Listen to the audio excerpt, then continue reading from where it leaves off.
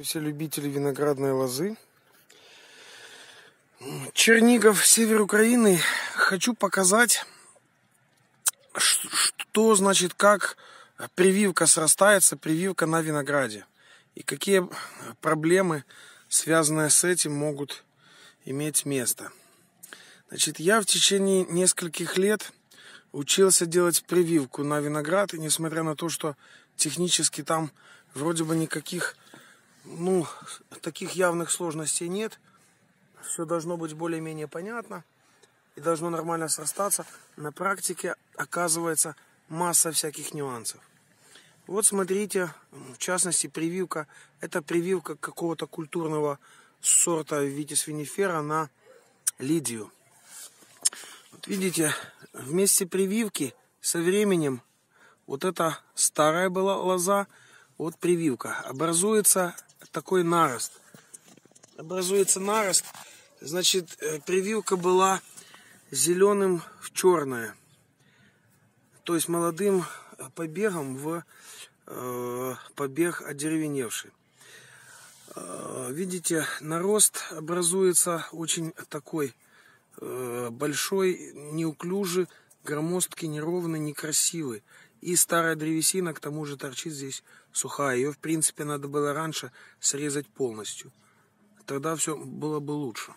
Вот одна прививочка. Допустим, да. А, где еще прививочку показать?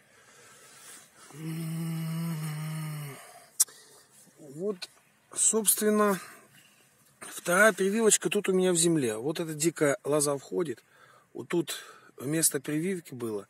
И вот эта привита лоза выходит. Почему я так сделал? Значит, э, этой весной при э, укладке винограда на шпалеры столкнулся с тем, что вот в подобном месте, только еще более старом, наподобие вот этого, где прививка была еще более старая, произошел перелом. Именно в том месте, где прививка зацепилась, там на самом деле нарост был очень некрасивый, очень неровный, неравномерный. И вот это места наиболее подвержены различным переломам и э, отмираниям ткани во время морозов зимой. И вот во время укладки винограда на эту арочку, на эту шпалерку – получилось, что она почти полностью обломалась. Там буквально осталось висеть на сопельках. Посему мне пришлось, видите, вот этот рукав закопать в землю. И вот это уже идет э, новая лоза привита. Это уже был такой довольно мощный рукав. Прививка там оказалась внутри. При этом она там висит буквально там на кончике коры вот этого рукава. И шансы того, что она зацепится, укоренится, они на самом деле очень незначительные. Я смотрю почки, ну, что-то такое он виднеется еле-еле. Еле-еле. Непонятно, а будет дело или это уже гайки. Короче, к чему я все это снимаю, показываю. К тому, что после нескольких лет э, владевания методикой прививки винограда.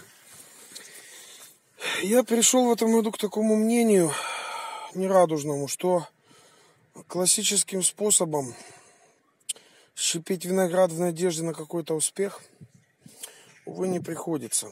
Именно в связи с тем, что вот это место, где срастание места лозы, лозы культурной в дикую или новой в старую, оно очень-очень проблемное. И при укрытии винограда на зиму, или же при, э, наоборот, весеннем э, выравнивании на шпалеры, оно очень легко может сломаться. Не первый год, так второй или третий. Это дело времени. То есть, к сожалению, приходится констатировать, что, по крайней мере, у нас Чернигов, это север Украины – надо щепить либо совсем другим методом, а это значит э, так, чтобы было срастание абсолютно идеальным. Или вообще отказаться от щепления. Есть вроде бы такие методики, в частности это зеленым в зеленое, которые позволяют избежать вот этого вот некрасивого нароста, неравномерного нароста, что приводит в конечном счете рано или поздно. Мне кажется, что в принципе все прививки в той или иной мере они обречены. Такого рода прививки. Надо именно стремиться делать не просто прививку, а такую прививку, чтобы срастание было очень качественным. Значит, вот на сегодняшнем этапе мне кажется, что это, этого можно добиться, э, возможно, методом прививки зеленым в зеленое. Это раз. И два, еще я слышал, делают прививку в боковой зарез. То есть это в районе почки делается... Вот тут покажу. Нет, не тут. Вот тут покажу. Делается зарез во время того, когда побег пойдет расти уже, потеплеет, подойдет более благоприятное время э, для прививки, делается вот так вот зарез в бок, и сюда вставляется клином молодой побег, вставляется щепа. Конечно, видимо, это должна быть опять же зеленая щепа. Вот возможно еще этот метод, возможно, это как гипотеза пока у меня он бы э, привел к лучшему срастанию. Но то, что э, черное в зеленое нормально не срастается. У меня таких прививок много, сейчас покажу еще. Но вот это как раз не самый худший вариант, смотрите. Видите, вот это Лидия, это старая лоза и вот новая. Наплыв калюса и побег пошел. Вот вариант. Это новый. Видите, тоже здесь нарост э, калюса, одеревеневшее, все очень такое некрасивое. И это место, оно очень проблемное. Оно и ломается, и перемерзает.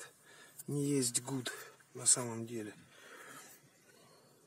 Этот у меня, кстати, засох. Вроде ничего, но зиму не пережил. Вот не переживает зиму тоже, видите?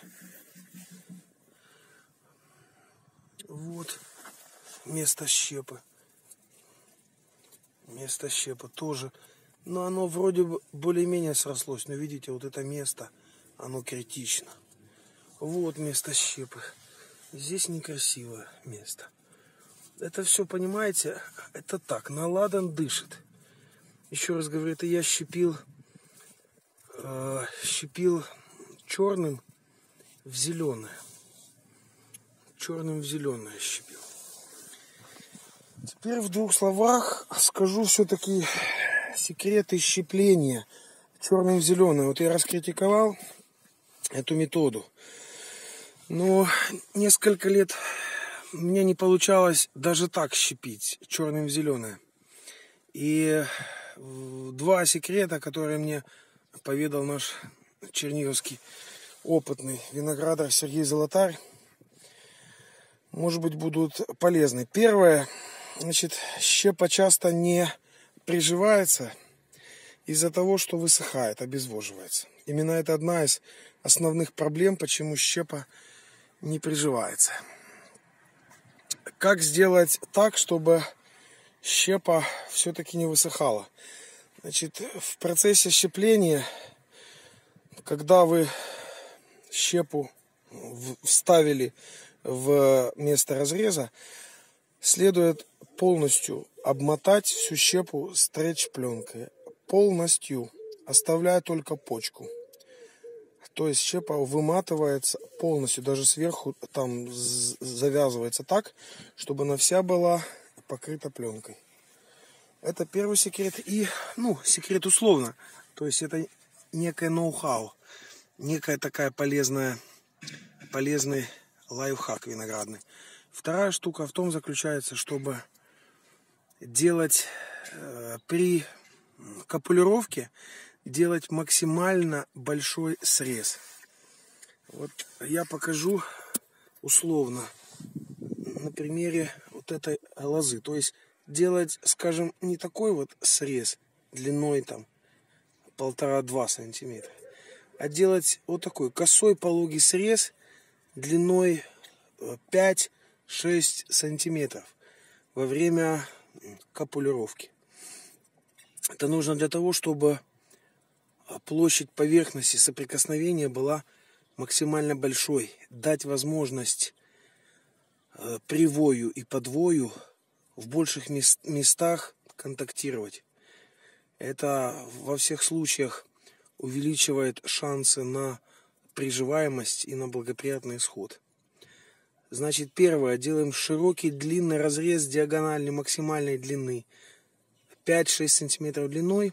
Второе, полностью уматываем всю щепу, только почечку оставляем стрейч пленочкой, чтобы побег не обезвоживался.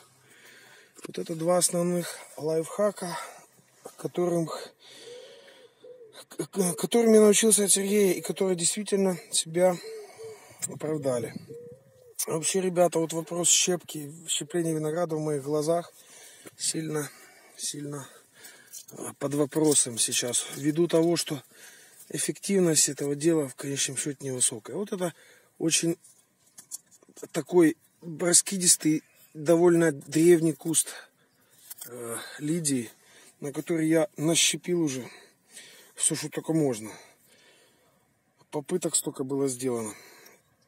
И вот я вот теперь думаю, за эти 4 года посади я здесь 3-4 куста новых, они бы за эти 3-4 года выросли корни собственными и дали бы хороший уже урожай и показали бы хороший результат.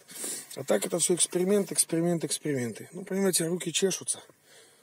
Познавать, учиться, делать что-то новое. Может, это тоже на пользу дела. Ну, а вы думаете, решаете, надо ли вам щепить или все-таки посадить, подсадить кустик. Вот, э, допустим, кустик, допустим, который вам не очень нужен. Вот. Посадите э, рядом возле него новый сорт, который, на который вы питаете надежды. Два-три года он вырастет, этот вы потом уберете, срежете, и методом замещения новый куст заместит старый. Все будет замечательно. Если, конечно, есть доступ до черенков или саженцев. Вот, собственно, что хотел и поведать. Всем хороших урожаев, быть добру и миру мир.